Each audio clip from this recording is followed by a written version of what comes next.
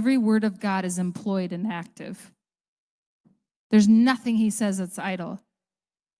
So when things come out of our mouth that are not the will of God, it's unemployed, it's lazy, it's inactive. That Rhema word, every idle Rhema word that men shall speak, they shall have to give an account for it on the day of judgment. People think it has to do with saying curse words. Now I have to stand in front of Jesus and say, Well, I said three curse words when I was five. It's not that. It's every inactive, uncreative word that came out of your mouth. That was not the will of God. That we have to stand and account for. Now, that really stopped me in my shoes because how many have we spoken, right?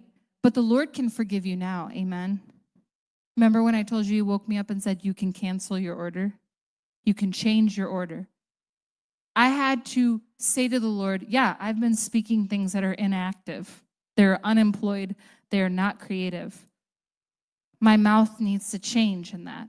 Amen. Those are the things that we're held accountable for because men are in the image of God. So everything they speak has power. So we are in, so we think it's things like you smoked a cigarette when you were five. We think it's those things. To Jesus, it's the words. It's the words that are so important. It's the things that come out of our mouth because that's what's in your heart. It's the things that come out of your mouth. That's what's the most important to him. That's where he looks at. That's what he's looking at. That's why he would say, remember the book in, in the Old Testament, King David, who sinned I don't know how many times, you know, killed a guy to be with his wife. He messed up I don't know how many times. But the Bible would say he was a man after God's own heart.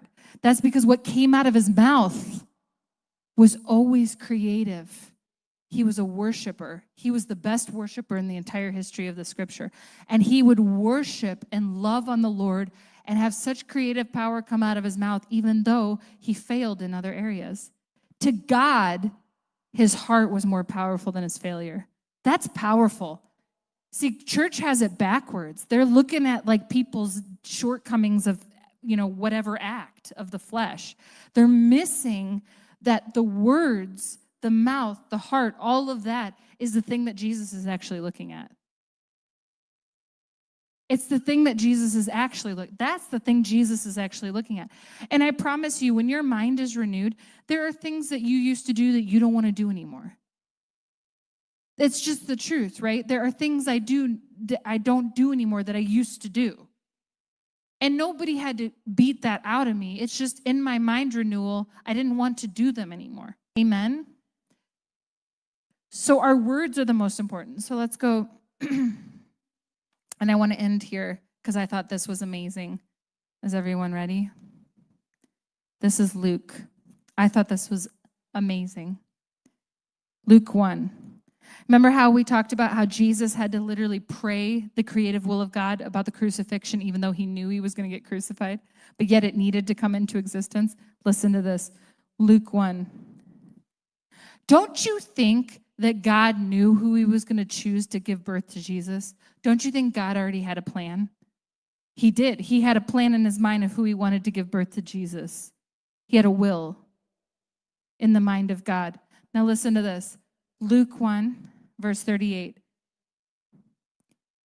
The angel has just spoken to Mary, and Mary says, And Mary said, Behold, the handmaid of the Lord, be it unto me according to thy Rhema word. And the angel departed from her. When she spoke that, in the Greek, it's Rhema again, and that be it unto me is the same word, thy kingdom come, thy will be done. So when she said, and be it unto me, she literally brought into existence the creative will of God to be impregnated to give birth to Jesus. That's what it says in the Greek. She brought it into existence. Be it unto me according to your Rhema word, Lord. That's what she said.